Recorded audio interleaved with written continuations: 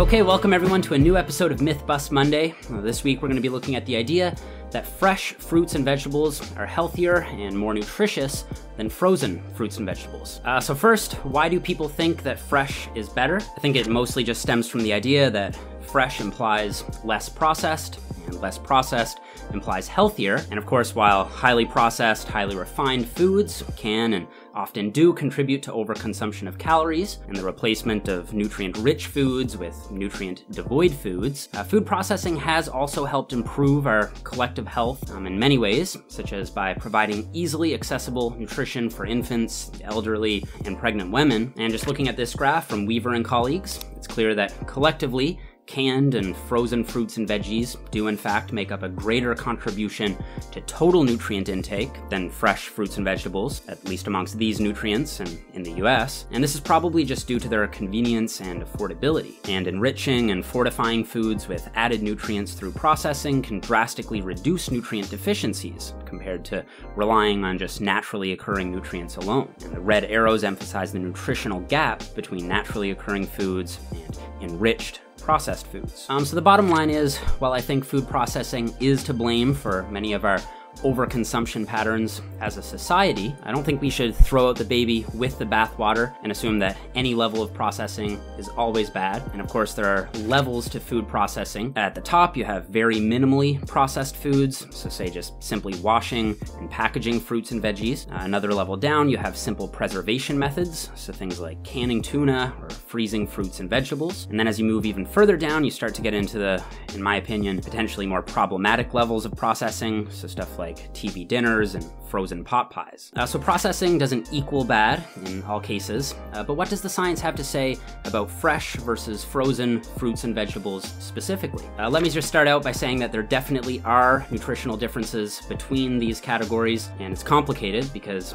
as it turns out, which method is better seems to depend on what fruit and vegetable you're looking at. Uh, for example, looking at this 2017 analysis from Lin and colleagues, beta carotene content, a precursor for vitamin A, was higher in fresh broccoli than frozen broccoli, but actually lower in fresh compared to frozen corn, and lower in fresh green peas compared to frozen green peas. Um, so first, I think it's important to clarify that even amongst fresh produce, uh, there can be differences in terms of nutrition, uh, because you can consume a fruit or vegetable freshly picked right off the tree, um, so, say something like from a fresh farmer's market or a roadside fruit stand, uh, or you can consume something that was picked and sat in the back of a truck, uh, then sat in the grocery store until you bought it. And while research has suggested that all else equal, the longer the transportation and the storage time, uh, the worse the nutrient quality tends to be, um, even this isn't 100% accurate uh, because in reality, there are so many other factors that can come into play,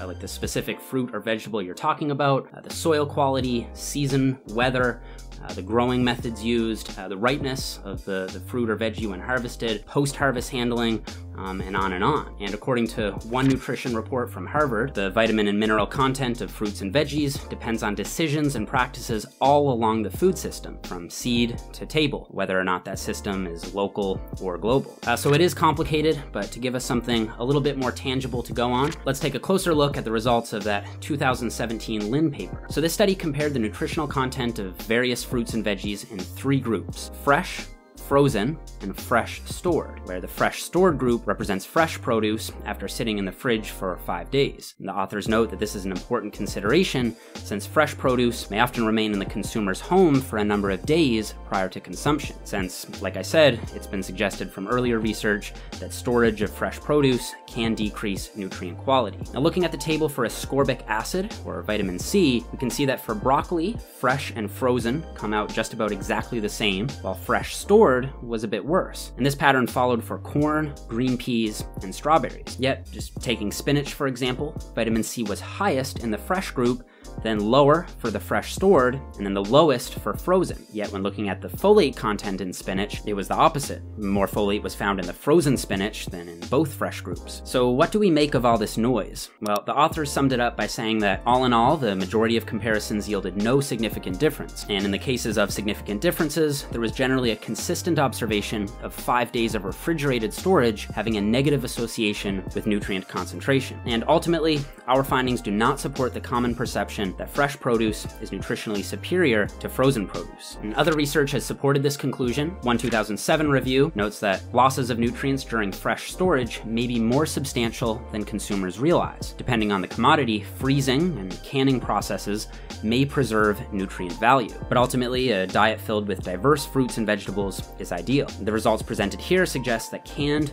frozen, and fresh fruits and vegetables should all continue to be included in dietary guidelines. So, to conclude, and borrowing from the conclusions of a science based medicine article from Dr. Steven Novella, the most nutritious produce is the produce you will actually eat. Even the worst fruits and vegetables still have a higher nutrient density than other types of food. If affordable and convenient produce allows you to eat more, that's more important than slight incremental gains in some nutrients, but not others, by obsessing over the details. So, bringing this full circle, I would say the idea that fresh fruits and vegetables are across the board healthier and nutritionally superior to frozen or canned fruits and veggies is busted. I think the best advice is to simply have a diet filled with a variety of different fruits and vegetables, of different colors, and from various sources of production. And as long as you're focusing on variety and consistency, you'll be getting enough nutrients from these foods to reap their nutritional benefits. Now, one thing I didn't mention here is cooking method, and there is some interesting science uh, to cover there. Um, so just let me know if you'd like to hear me cover that in a future video, and I'll do my best to do that. Uh, but for now, I think I'm gonna leave it at that for here. Uh, before we go, guys, I wanna thank Skillshare for sponsoring this video. Uh, Skillshare is an online learning community designed to help creators